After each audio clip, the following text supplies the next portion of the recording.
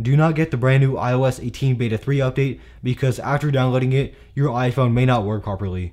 So in this video, I'm going to be covering some of the major glitches that exist in iOS 18 Beta 3 and why you should wait until iOS 18 fully releases to the public. So first off, with iOS 18 Beta 3, a lot of the applications on the iPhone don't work properly and this may especially be a big problem if this happens with a banking application, so you want to try avoiding that as much as possible. And this could also happen with other apps. So for that reason, getting the new iOS 18 Beta 3 update could be really risky for your iPhone.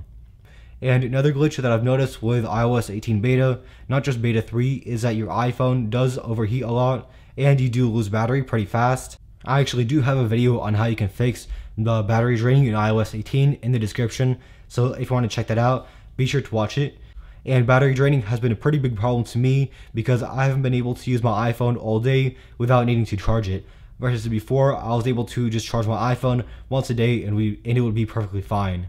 Now, oftentimes when I use certain apps, I get notifications on my iPhone telling me that my iPhone is overheating. And another problem with this update is that sometimes I get a notification telling me that my iPhone is overheating whenever I use certain apps.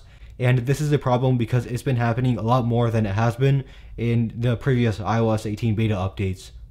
Also, another small glitch that has bothered me with iOS 18 is that there's a lot of lag whenever I do basic stuff, like when I type, it would sometimes glitch. And Apple will fix all this before iOS 18 is fully released to the public, so I recommend you all to wait up until September when iOS 18 is fully released to everyone. So that's basically it for this video. I hope you all found this video helpful, and if you did, be sure to like, subscribe, and check out my channel to see more videos like this in the future. And if you have any video suggestions, be sure to leave them in the comments below, and comment below any questions that you might have.